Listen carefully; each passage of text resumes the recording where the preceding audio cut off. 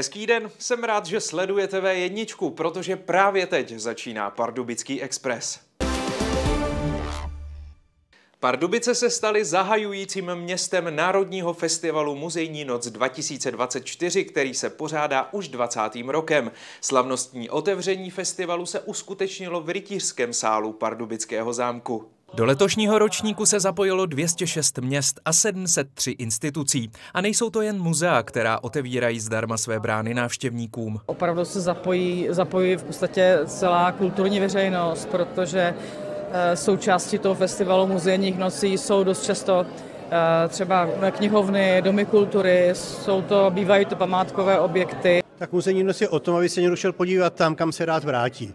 A to je hlavní poslání muzejní noci a myslím si, že i mimo muzejní noc se snažíme vymýšlet nějakým způsobem, jak vtáhnout lidi, aby si, eh, jak ta mladá generace, která to má zlevněné, ale, ale všichni, všichni, kteří chodí kolem, tak aby vlastně rádi navštěvovali své instituce, protože jsou tady pro ně. Kraj zpřístupnil například automatické mlíny s Gočárovou galerií nebo Východočeské muzeum s bohatým doprovodným programem. Ten začal na zámeckých valech salvou z děla. Je to velmi významná akce, letos o to víc, že hostíme zahájení 20. ročníku muzejní noci v celé republice. Město otevřelo pro lidi například historickou budovu krematoria, galerii města Pardubic, novou budovu Sféry či jeden z nejstarších domů v Pardubicích, Maas House. I když už je Pardubická muzejní noc za námi, tak nevěžte hlavu. Hradec Králové otevře brány svých institucí a muzeí už tento pátek. Kuba Kubín, televize V1.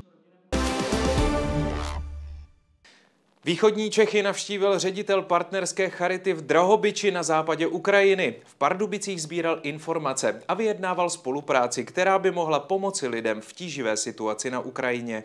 Ředitel Charity Igor Kozankevič při své cestě do Pardubického kraje navštívil několik institucí, například zařízení v Ústí nad Orlicí rodinné a vzdělávací centrum v Holicích nebo oblastní charitu v Pardubicích. Tam jednal s ředitelkou Marí Hubálkovou o možnostech pomoci. Uvítali bychom dobrovolníky, kteří by chtěli na Ukrajině pomáhat. Budeme za ně moc rádi. Také by nám pomohly staré věci, které lidé tady nepoužívají, protože obyvatele z východu Ukrajiny, kde válka zuří naplno, tak k nám prchají prakticky bez ničeho. My tam dovážíme plenkový kalhotky, různý zdravotnický materiál, zdravotnické pomůcky, které jsou eh, funkční. Jo. Tady třeba je oprýskaný vozík a lidé ho už nechtějí, takže my moc rádi ho přijmeme a dovezeme na Ukrajinu, protože tam není nic. Ukrajinská strana si také odváží cené informace o fungování mobilních hospiců nebo čerpání evropských dotací. V Pardubicích ředitel navštívil například potravinovou banku, sociální šatník a také zavítal do vznikajícího centra mobilního hospicu v Dražkovicích. My mu ukazujeme, jak pracujeme a on vlastně by chtěl získat naše zkušenosti, aby tam vybudoval síť těchto služeb. Svoji návštěvu Pardubic uzavřel besedou a modlitbou za Ukrajinu v kostele svatého Bartoloměje a své putování po východních Čechách zakončil prohlídkou oblastní charity v Hradci Králové. Kuba Kubín, televize V1. Park na špici v Pardubicích se dostal do obležení dětí, které si užívali sportovní zážitkový den spolu bez bariér.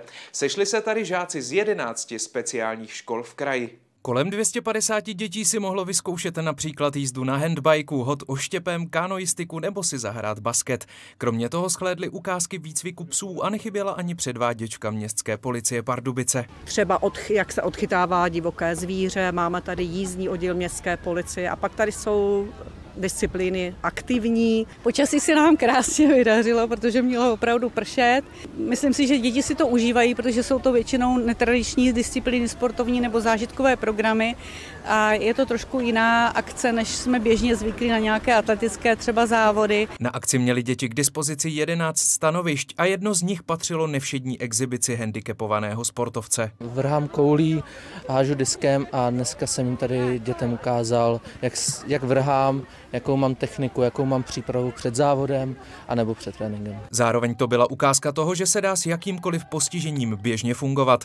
Nejen touto sportovní akcí pořadatelé připomínají 111 let speciálního školství v Pardubicích. Na tento rok mají připravenou ještě výtvarnou soutěž a společenské setkání s kulturním programem. Kuba Kubín, televize V1. Veselým v parku na špici končí dnešní Express. Mějte se fajn.